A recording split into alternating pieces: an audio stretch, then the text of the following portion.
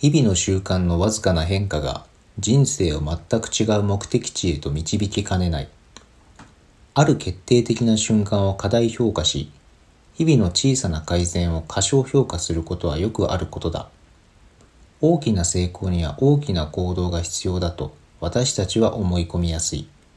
体重を減らすこと、会社を立ち上げること、本を書くこと、選手権に優勝することなど、どんな目標であれ、よく話に聞くような劇的な向上が必要だと自分にプレッシャーをかけてしまう。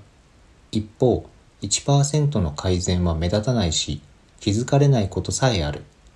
ところが長い目で見てみると、はるかに大きな効果を発揮する。小さな改善が長い時間をかけてもたらす変化は驚くほどだ。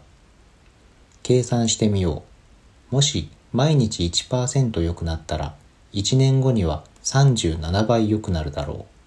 逆に、毎日1%悪くなったら、1年後にはゼロ近くになってしまう。小さな勝利も、ささやかな敗北も、積み重ねればはるかに大きなものになる。習慣とは、自己改善が福利の利子を生んでいくようなものである。投資した金が福利で増えるように、習慣の効果も繰り返すことで大きくなっていく。一日ではほとんど違いがないように見えても、数ヶ月や数年をかけてもたらされる影響は計り知れない。2年、5年、あるいは10年後に振り返って初めて、良い習慣による利益と悪い習慣による損失がはっきりと目に見えてくる。これは普段の生活では分かりにくいかもしれない。私たちは小さな変化を見過ごしがちだ。その時は重要ではないように見えるからである。たとえ今少し貯金したからといってまだ億万長者というわけではない。3日続けてジムへ行ってもすぐに体型は変わらない。